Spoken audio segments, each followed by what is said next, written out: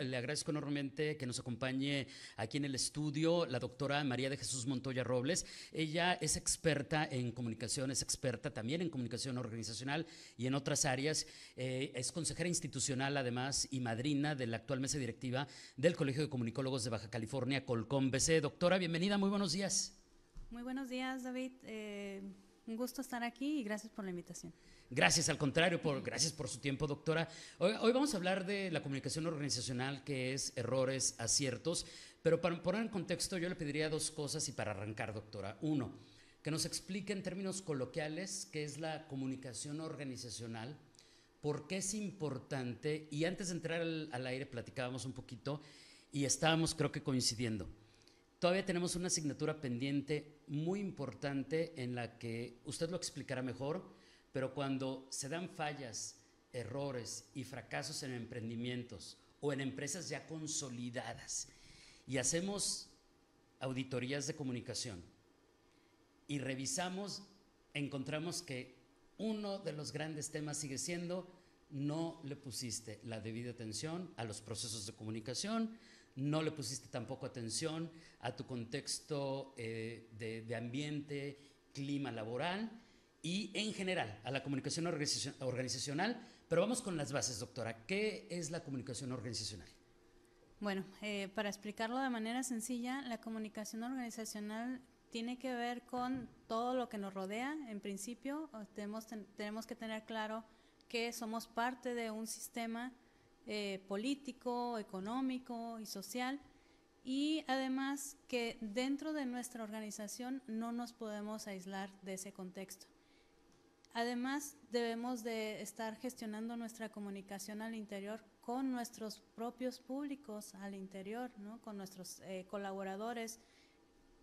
Si no lo hacemos, ya lo decías tú, puede ocasionar graves problemas en cuanto a clima organizacional, cultura organizacional, todo lo que tenga que ver con la interacción, no solamente con eh, quienes trabajamos, sino pensar en que toda esa comunicación que podemos gestionar con nuestros propios públicos, darles información básica para que puedan hacer sus operaciones del día a día, que puedan estar a gusto dentro de la organización en términos de lo que es el ambiente laboral, pues nos va a dar o nos va a redituar en una mejor producción o una mejor productividad de nuestros propios colaboradores. Y debido a la, importancia que esta tiene, ¿no? La comunicación organizacional tiene o cumple, perdón, tres funciones básicas dentro de la organización. Uno es la producción, que trata de cómo a través de, diferentes comunicaciones nosotros podemos lograr que la gente pueda realizar su trabajo con información pertinente y bueno, que, que tiene que ver incluso con instrucciones claras que se le deben dar a la persona, ¿no? al colaborador. La segunda tiene que ver con el mantenimiento y socialización, que tiene que ver con este clima organizacional que nosotros debemos de fomentar dentro de la organización y decirle a la gente que es parte de esta organización y el bien que él pueda tener al cobrar un salario, al producir y al ir aprendiendo dentro de la organización, también es un bien para la organización. Y como dicen, nos ponemos la camiseta con esta función. La tercera función que es vital para toda organización es la innovación. La innovación es eh, cómo a partir de la comunicación nuestros propios colaboradores, eh, nuestros pares dentro de la organización nos ayudan a tener nuevas ideas, nuevas herramientas, nuevos productos eh, y eso es a partir de la comunicación. Simplemente que un empleado te diga, sabes que este proceso está saliendo mal, necesitamos que, que, se haga una pequeña modificación o te hago una sugerencia, una, una pequeña modificación y bueno, eso contribuye a mejorar los procesos de comunicación, pero también la productividad de la empresa. Ok, doctora, tengo muchas preguntas. adelante, adelante. a ver, vamos a tratar de, de, de, verlo eh, poco a poco. Esto que usted nos acaba de explicar y siguiendo con las cosas más básicas, y usted me dirá, ¿por qué vamos a las cosas más básicas? Porque cuando hemos llegado a empresas como profesionales, encontramos que ni las más básicas tienen claras. Entonces, ¿cómo las van a aplicar si ni siquiera tienen un conocimiento o un experto que les diga, vete por acá. En esa primera parte, tenemos que gestionar la comunicación con nuestros públicos internos y los externos. Eso nos, nos queda perfectamente claro. Pero entonces, eh, ya entendiendo que la parte del organigrama lo interno, con nuestros públicos externos, sean clientes, proveedores, etcétera, etcétera, etcétera, ¿cómo gestionar? Digo, ya sé que es una pregunta que podríamos quedarnos aquí dos horas platicando de ello, pero ¿cómo entenderlo desde la perspectiva de eh, vamos a gestionar esa comunicación, pero no soy ni el gerente de recursos humanos, tampoco soy el encargado de la producción y tampoco soy necesariamente el gerente de mercadotecnia, por poner muchos ejemplos, porque creo que hay gran parte del empresariado que puede ser expertísimo en el desarrollo de sus productos y sus ventas y, y sus canales de distribución y sus políticas para la determinación de precios. Pueden ser expertos en eso, pero yo me he encontrado con muchos grandes, grandes empresarios que eso no lo saben diferenciar. Bueno, ahí entraría el papel del comunicólogo organizacional, ¿no? Eh, claro. Para empezar, ¿no? Eh, digamos que muchas de las veces todo esto que me, que me dices se realiza, pero no se realiza con las estrategias y las habilidades y conocimientos que tiene un comunicólogo organizacional. Eh, ¿Cómo realizarlo? Bueno, pues en principio mencionaste puestos claves, ¿no? el, el, área de recursos humanos, el área de desarrollo organizacional debieran de tener estos conocidos y guardados manuales de la organización, ¿no?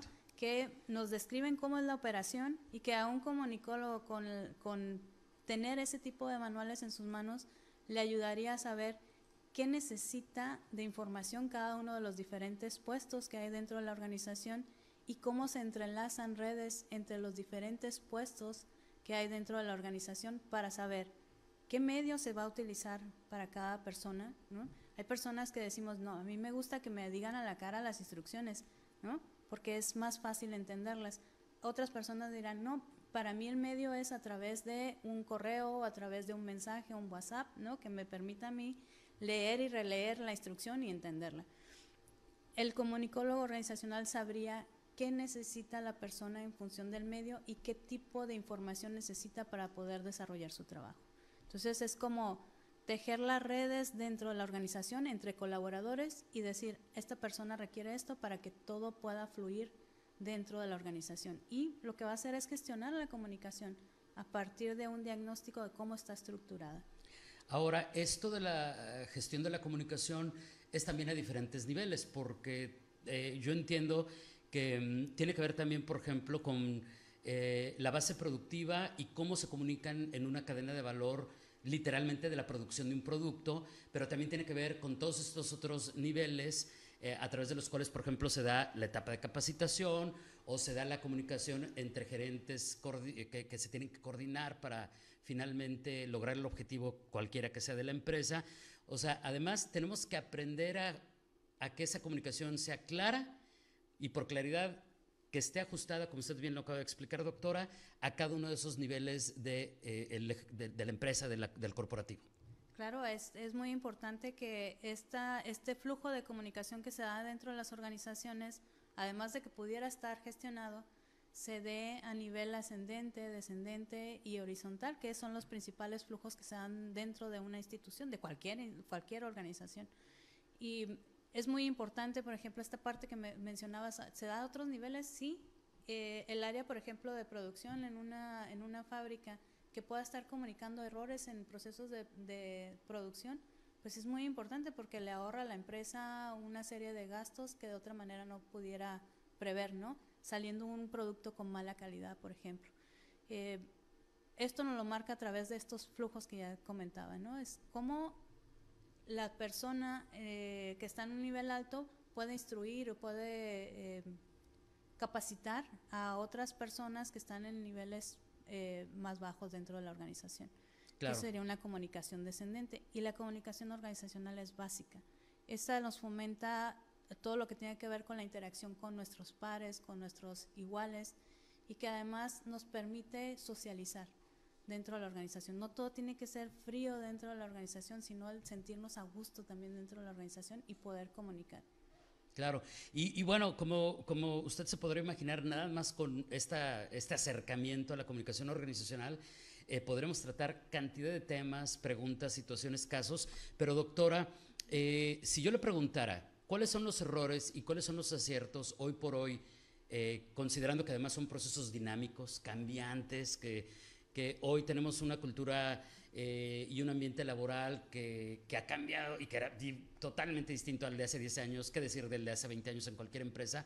Y si yo le preguntara, a ver, eh, ¿por qué no nos pone ejemplos de errores y aciertos en la comunicación organizacional generales? Porque también entiendo que pueden ser muy cambiantes o se deben de ajustar dependiendo de cada empresa. ¿Cuáles serían los ejemplos más clásicos que, que hay en el estudio de la comunicación organizacional? Un error clásico, clásico, es suponer que la comunicación está dada, ¿sí?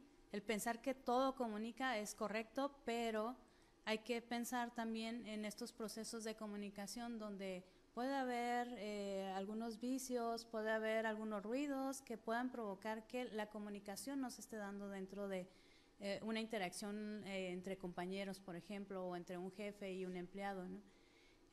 No, no debemos de suponer que está dado, sino que es, a ver, retroalimentación, ver que si la persona está cometiendo errores, por qué los está cometiendo y, bueno, ver si es por falta de una comunicación adecuada o es porque estamos nosotros dejando de lado lo que es realmente llevar a la práctica la comunicación, ¿no? que es este proceso de entender y preguntar a la persona si realmente comprendió la instrucción, por ejemplo. Claro. A ver, ahí me surge una duda eh, que creo que pudiera ser interesante, eh, doctora, y es, ¿qué diferencia habría en la atención a un error de esta naturaleza en la iniciativa privada cuando vamos y diagnosticamos, pero pudiera ser eh, un error de comunicación o pudiera ser una cultura organizacional de esas rígidas en las que, no, pues yo di la orden cuando se entere que se aguante?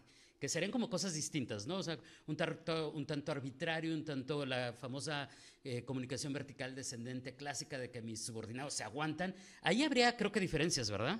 Sí, sin duda. Eh, hay que considerar que no solamente es construir un mensaje de manera apropiada para dar una instrucción, sino también el comportamiento organizacional de las personas. Las personas podemos en un momento bloquear la propia comunicación y simplemente decir, una instrucción de manera inapropiada, escrita, a lo mejor si es escrita, escribirla de una manera no lógica para la persona a la que va esa instrucción. Pensemos que estamos en niveles, eh, un nivel alto con un nivel medio, eh, donde el nivel alto está utilizando conceptos y herramientas que a, a, la cual, por ejemplo, la persona de nivel medio no tiene acceso. Entonces, de esa manera le estoy dando una instrucción, pero le estoy limitando su capacidad de acción. Ahí no entra la comunicación porque estamos, eh, estamos limitando el proceso. ¿sí? No, no como comunicólogo lo tendríamos que estar gestionando. Ahora, ¿cómo el comunicólogo organizacional pudiera evitar esos problemas? Hay que sensibilizar a través de talleres, a través de dinámicas internas dentro de la organización para evitar este tipo de comportamientos, porque al final no estás dañando solamente a la persona, estás dañando a tu organización. Claro. Entonces ahí es donde nosotros debemos de reflexionar y decirle a la gente, a todos en general, porque todo el mundo vivimos rodeados de organizaciones, en cualquier organización donde estemos, que debemos de evitar este tipo de comportamientos. Oiga, doctora, ya tenemos comentarios y preguntas del público, eh, algunas muy interesantes. Lamentablemente ya nada más nos quedan dos minutitos. Eh, entonces podemos hacer esto. Eh, le pido un ejemplo clásico de un acierto de la comunicación organizacional y una pregunta del público. Vamos primero con un ejemplo de un acierto, de algo que hoy por hoy podemos decir, eso pues en términos generales casi siempre va a estar bien. Ok, en términos generales es el conocer a los públicos. O sea, para mí un acierto es que conozcas a tus, tus públicos, me refiero a tus compañeros, a, a los colaboradores, con quién, quién te va a resolver qué a través de un mensaje o a través de una comunicación, eh, saber mi puesto, mi rol que desempeño dentro de, cada organización, con quién tiene interacción. ¿no? Ese es un acierto que, debemos de tener todos. No es llegué a este puesto y aquí me quedo hasta que alguien me dé una instrucción, sino es, a ver, conoce con quién tienes implicaciones, a quién le tienes que dar información y a quién, este, de quién recibes. Y, eso, doctora, sería, eh, creo que muy recomendable que, evidentemente se revisara, pero que incluso se plasmara, hacer como el, organigrama, las, líneas verticales, horizontales, quién se relaciona con qué, o sea, plasmarlo para que además toda la organización entendamos todo el tipo, todo el tipo de interacciones que podemos tener y la importancia de cada una de esas interacciones. Claro, hay una, hay una técnica que es la sociometría, que nos permite hacer todo este tipo de conexiones. Entonces, eso es muy importante. Por eso la importancia también del comunicador organizacional. Claro. El, el, poder gestionar estas redes de colaboración y el, y el tener claro cuáles son las que se tienen que dar dentro de la organización. Y algo que, que yo quiero recomendar siempre es no limitar la comunicación informal, porque la comunicación informal, así como la horizontal, nos permite esa socialización que los, la mayoría de los empleados tenemos con otros compañeros, ¿no? La charla ahí en el cafecito, la charla a la hora de la llegada, ¿no? El, buenos días, el cómo estás, ¿no? Este, cómo te sientes el día de hoy. Eso es importante para motivar al empleado a iniciar su jornada laboral. Muy bien, y del público, fíjese que aquí le estoy ya contestando a algunos de ellos y, prometiéndoles este, que, les, que tendremos una sesión próximamente porque ya, ya no vamos a alcanzar, pero antes de ello, eh, una pregunta que creo que está muy interesante, que es un tema muy vigente, que no solamente es de comunicación organizacional, creo que implica implicaría en determinado momento desarrollar varios temas, pero nos dicen, ¿qué piensa la doctora del contexto actual en el marco de la discusión que hay sobre el home office? Tenemos generaciones que cada vez más eh, quieren eh, por lo menos tener un... Eh, eh, una plaza híbrida, me refiero a que, me imagino que se refiere a, que, a tener un esquema de trabajo híbrido, eh, contra una gran cantidad de empresarios, no todos, que quieren regresar al trabajo 100% presencial. Es una discusión vigente eh, y que sigue, que, pues, que sigue generando discusión y controversia. Claro, bueno, cada vez hay más apertura al home office. ¿no? yo considero que hay actividades que sí se pueden desarrollar dentro del home office y hay herramientas que nos permiten tener esta comunicación cara a cara, aunque sea mediada por una pantalla. ¿no? Yo considero que eso eh, le permitiría a la gente que está del otro lado en la empresa el poder interactuar con el empleado que está o el colaborador que está en casa trabajando, ¿no? Y muchas de las veces eh, habría, habríamos de reconsiderar esta, esta pregunta porque el, el, hecho de que la gente esté desde casa trabajando no quiere decir que no está trabajando. Suele ser muchas veces más productiva en casa que dentro de la empresa, por los distractores que hay dentro de la empresa. Claro, y, y, otro factor que me atrevo a comentar, doctora, usted es la experta y por eso le digo que me atrevo, es, pues, si no han implementado sistemas para la medición de la productividad a distancia, pues hay algo que tiene que resolver. Así Porque sí, claro, nunca va a faltar el que pues estando de home office se hace guaje, pero eso también sucede presencial. Entonces, está bien interesante. También nos preguntaban de lo generacional.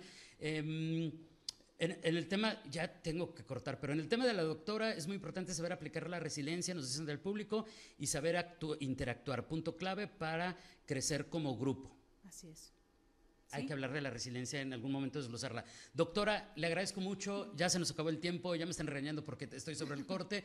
Eh, le pediré un mensaje para cerrar. Eh, ya sé que nos quedamos cortos, habremos que buscar una manera de seguir desarrollando este tema, pero digamos a manera de, conclusión, ¿cómo podremos cerrar en este momento? Eh, para cerrar sería el que cada quien considere sus diferentes, de las diferentes organizaciones de las que es parte y gestionar su comunicación, o sea, pensar qué información requieren en casa, en el transporte público, en la empresa, ¿no? Para de esa manera nosotros mismos como seres humanos eh, empecemos a gestionar nuestras propias comunicaciones al interior de cualquier empresa o organización donde nos encontremos. Doctora, le agradezco enormemente y por acá le esperamos de regreso muy pronto. Eh, muchas gracias y excelente fin de semana, por cierto, largo.